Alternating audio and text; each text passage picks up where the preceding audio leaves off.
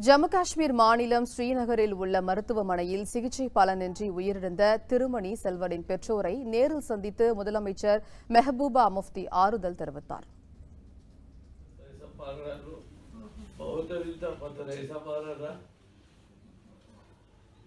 पूरा ऐसा लग गया यहाँ पर लग गया उसको मेरा फैमिली इधर खान में लग गया उसको भी बहुत खून निकाला சென்னை இளைஞர் உயிரிழந்த சம்பவம் வேதனை அளிப்பதாக ஜம்மு காஷ்மீர் முன்னாள் முதலமைச்சர் உமர் அப்துல்லா வேதனை தெரிவித்துள்ளார். இந்த சம்பவத்தில் காயமடைந்த மற்றவர்கள் விரைவில் குணமடைய வேண்டும் என்றும் இந்த பிரச்சினையில் ஜம்மு காஷ்மீர் அரசு தோற்றுப்போனது எனவும் அவர் கூறியுள்ளார்.